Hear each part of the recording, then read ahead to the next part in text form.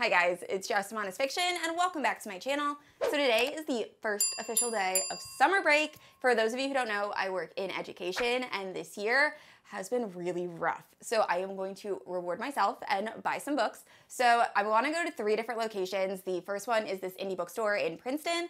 The second one is just a Barnes & Noble by my house. And then I heard Target has had a pretty good selection. So I think we're gonna go there last. And then I'll do like a small little book haul and talk about all the books I purchased. And yeah, so come along with me and let's go book shopping.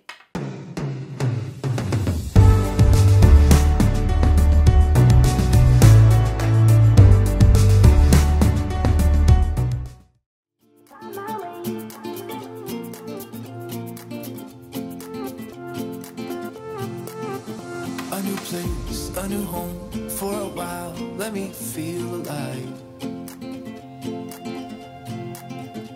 Nothing to hold me back. Take my time, just enjoy the ride. Man passing by. Life is good, best I've ever felt. Get me up, new, somewhere I can find myself.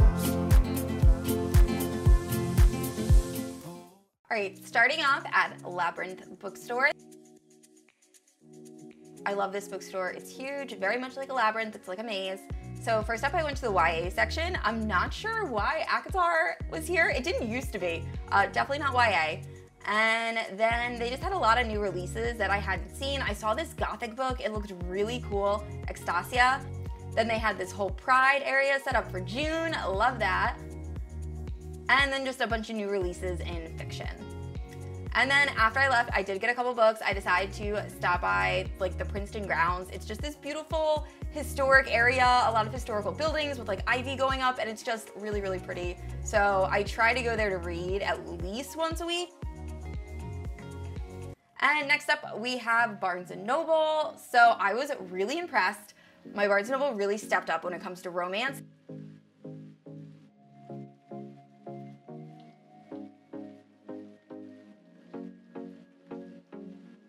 So first up, these are just like new releases and then straight to the romance section. And I was really impressed. So they had the Zodiac Academy, they had Wicked Beauty, which is the new Katee Robert book, um, a few Laura Thalassa books. Stay With Me, I did not know they sold that at Barnes & Noble. I wish they had the other two books because I still need them. If you have not read Stay With Me, please do it. It is so good. It's one of my new favorite series. I'm actually looking for the Crossfire series here and they didn't have it. And also the new Katee Robert book I was looking for. But I did see the Confidence of Wildflowers. Didn't know they were selling that at Barnes & Noble. Super impressed. And I've heard good things about this. Let me know if you've read it.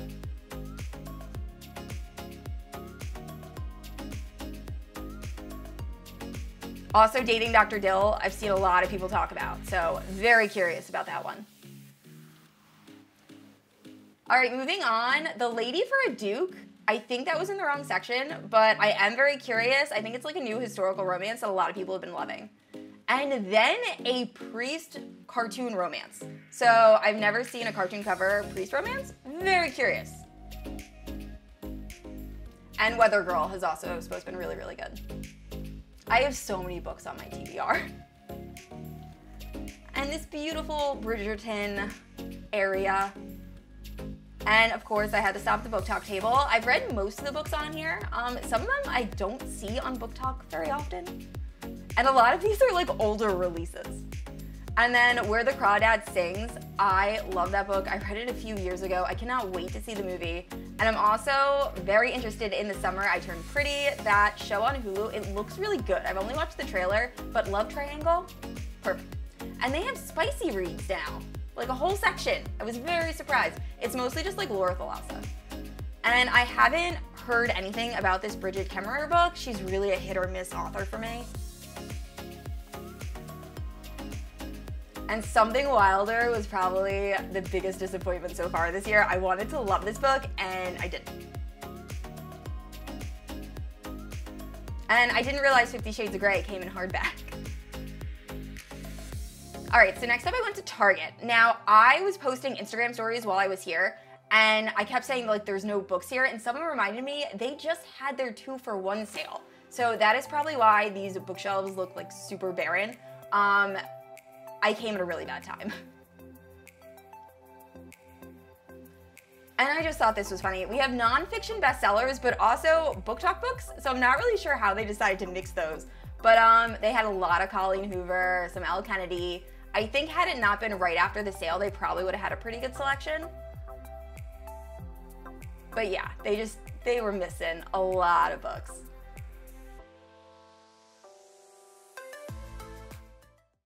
All right, guys, so I am back from book shopping. I actually was able to go to all three stores. Target was a bit of a fail, but that's okay. So the first store I went to was Labyrinth Books, and that's right on Nassau Street in Princeton. I love that bookstore. So I ended up getting two books from there. The first one is, these are not in order. Okay. The first one is Extasia. So this is by Claire Legrand. I know nothing about this book. This was in the Pride section, so I do think it is sapphic, but it's following this girl and I think she's selected to become like one of the heads of this like witchy coven. When I was reading the plot, it sounded very similar to Year of the Witching, which I did really enjoy. So I do plan on reading this probably around October, sometime in the fall, but it sounds really good. And then the other book I got from that location was The Mermaid, the Witch, and the Sea. The cover of this book is so pretty. I love it. So this one I also don't know very much about. Um, it was on my radar a while ago. I never ended up picking it up.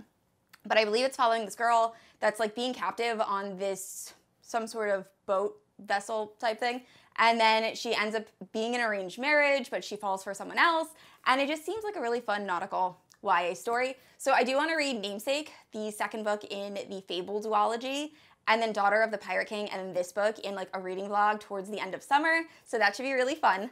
And then after that, I went to Barnes & Noble. I was actually trying to get either the Crossfire series or the Katee Robert Dragon book. I don't know why I thought they would have it, but obviously they did not. I will say Barnes & Noble by me is actually really stepping up their game when it comes to romance. They had a decent amount of indie published books and they just had like a pretty good selection. It worked out, so I'm very happy about that. But anyway, so I got two books from Barnes & Noble. The first one is Wicked Beauty, and this is by Katee Robert. So this is the third book in the Dark Olympus series.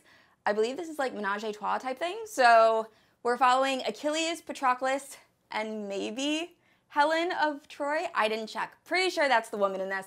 And this is getting like very mixed reviews. So I loved Neon Gods. So good. I didn't like Electric Idol. I'm really hoping I enjoy this. I'm going to continue with the series either way. I just, I really enjoy Katee Roberts' writing.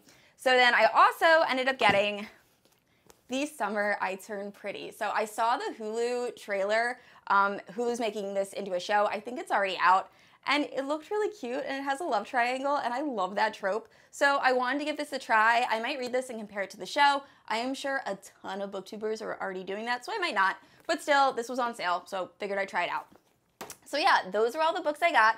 I will be filming a pretty big book haul um, probably next week, so that should be out the following Sunday, just because I feel like the last few weeks I've purchased a lot of books. But anyway, thank you for coming book shopping with me. And I said this already, I post new videos every Thursday and Sunday. If you haven't yet, please like and subscribe. I will see you all next week. Bye.